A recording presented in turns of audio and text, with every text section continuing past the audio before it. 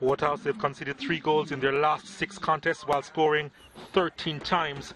And this starting lineup looked very familiar from what we have seen in the last couple of games in the semis, Dwight Jeremiah. Yeah, they've given them the result that they've wanted, so they've gone on change.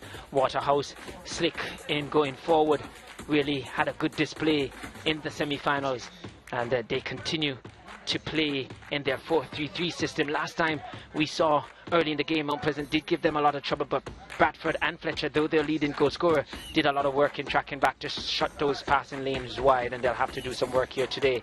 And Thomas as well expected to be a main antagonist for them today. Cavalier coming into this battle with a steeliness we don't often associate with the young. They haven't conceded a goal in their last four games, Dwight. Yeah, over 360 minutes since they've conceded a goal, and the one change we see to the side this then, Ronaldo Webster.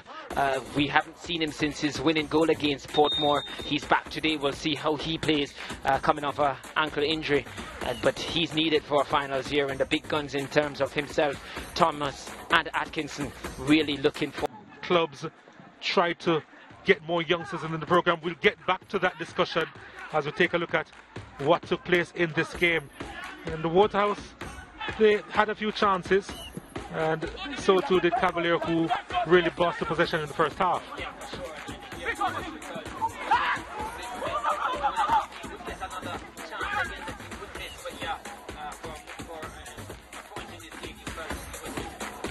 And then the corner kick inside to Jamoy Topey, rising highest. Nash should have done better there, Dwight. Most definitely, and you expect him to get something onto that.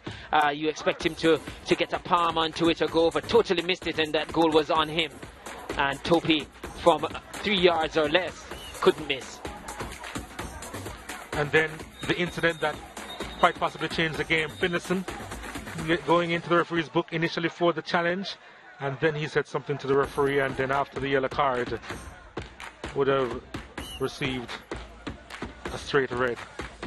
Yeah, Nation not hesitating to go to the back pocket there and brandish the red card and Finlayson for a player with the experience and the leader. Very, very disappointing and not acceptable. Ball played to Chanel Thomas, who really should have hit the target there. Yeah, that's the chance I was talking about that he would have gotten and certainly should have hit the target. Irving sending this one long, headed away. Webster was trying to get there, and it was pretty much cleared off the line. Waterhouse really defending their lines there. Yeah, they had to. They were down to 10 players and they were desperate. And then the penalty. Well, before the penalty, that shot on target, Jaden White had to pull off a fantastic save. Then he had to tip that one over the bar.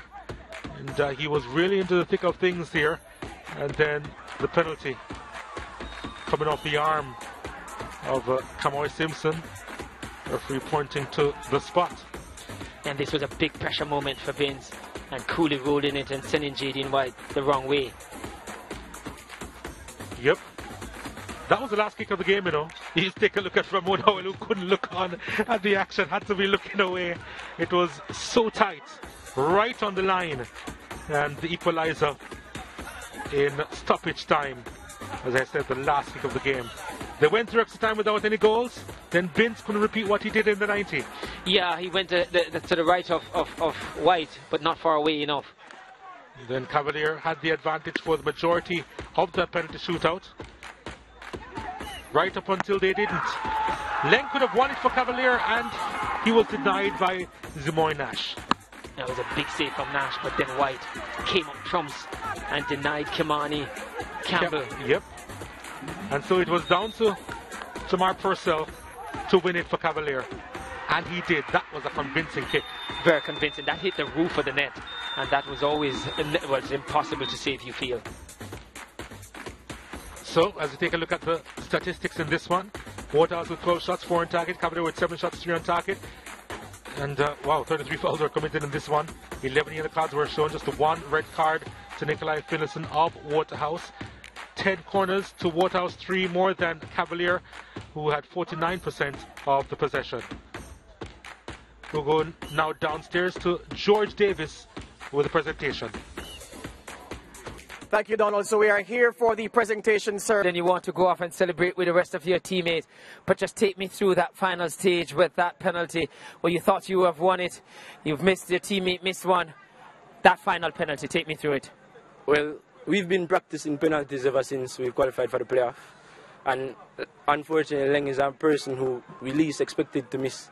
So seeing him miss, we know that yo, it's nerves that kick in and you know say, yo, we have to do it. But in walk I cry, but I don't tell coach before the penalty starts. Say, coach, I two Marvin.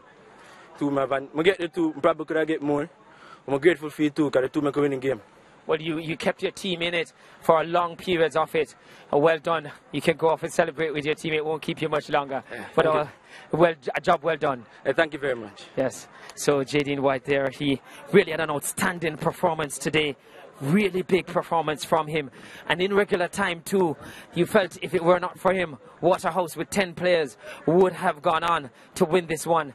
Coach Gayle, disappointment again. Three years a charm, they say, not a charm for you today. What about the effort from your team having gone down to 10 players? I mean, whoa, we're just going to express how overwhelming, even though I'm on the, the wrong side of the scope. But I mean, I mean, congrats to Cavaliers. I mean, well tried Waterhouse. I thought we, we after the 10 man, I think we get ourselves back together. You know I mean? Uh, we make a few changes in terms of um, um, tactically move. I think it, it, paid off for us. But unfortunately, in the final, honest, with the penalties, I lottery. So I mean, any team could have could have won. But I think I'm the one. I'm the winner today. Except unfortunately, you do, you do enough to get it go all the way. Well, coach, sorry about that, but just a little quick thing on the, the red card. Put into context how that really, your thoughts on it. Um, it's it's it's rather difficult now to speak on it. Um, I'm not really sure what happened, uh, what took place. So I'd have to go go and ask the player and watch my tape and say what happened. Well, tough luck this time, coach. All the best next time. Yeah, man. Thank you. Thank you very much. Coach Gayle there just can't get his Waterhouse team over the line. Um, really a very good show his team put on and contributed to it today. I heard you, coach, saying that you love to play Waterhouse. You didn't explain why then because you didn't want to give anything away. I'm not going to let you get away with it. Tell me why is it that you love to play this Waterhouse No, team? it's because the, our, their style and our style is it complements our style, our players. You notice we had a lot of possession in the first half because I knew they were going to stay in their half and try to get me to make a mistake. So we, we were composed and know what we had to did, we had to do, and um, we know that we can play through their lines too because of the type of players they have. Vindication for you for persisting over the years with these young players. Speak to me about the maturity they have shown since going almost 450 odd minutes without conceding a goal. You've been known for your attacking play, but you showed a different resolve. Your maturity too as a coach. Talk to me about that. Oh, well, first I must say this win was for all the young players in the Premier League because for a long, long time, young players wasn't allowed to play in this league. maybe a team would have one or two. So I persisted with it, got come third couple times. I figure people say, okay, good, good, you did well, but they didn't believe that the youths could win. So, but what I noticed with this particular team is that um, they could do a lot of different things. They could play attacking, they could play defensive, they could defend if they wanted to. And from I saw that, I realized that we had a very good chance to win.